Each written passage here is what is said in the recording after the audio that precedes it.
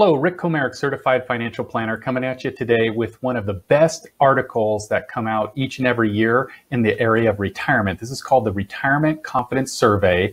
This is published jointly by the Employee Benefits Research Institute as well as Greenwald and Associates. So let's go ahead and get started and take a look at this. We're going to go over here for today's purposes and look at page seven, which is going to specifically talk about generating income in retirement. There's some interesting things in here, namely, only half of all workers are confident that they know how much income they'll need each month in retirement.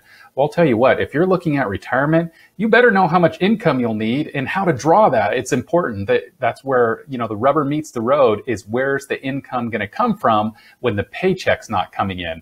But the good news is two out of three retirees report that converting their assets into income is a relatively easy task for them. So once they went through the planning, they actually did the work, they found out it wasn't that bad and uh, they figured out how to do it.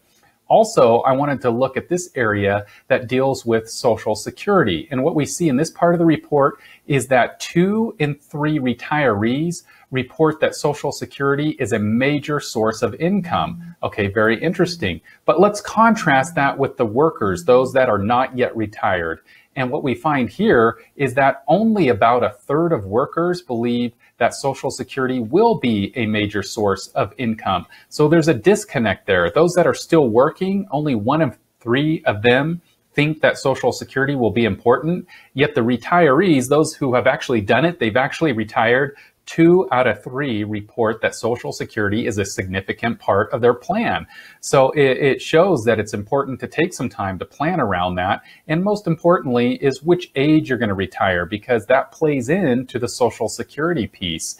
As a matter of fact, uh, what we find is that those that are working uh, many of them say that they plan to claim Social Security at age 65. However, for those that are retired, it turns out that most of them end up claiming at age 63, uh, a couple of years earlier, and that affects their income. So coming to a plan on how to claim Social Security and income in retirement is crucial. If you need any help with your plans on retirement income and all the strategies that are available, feel free to give our office a call anytime.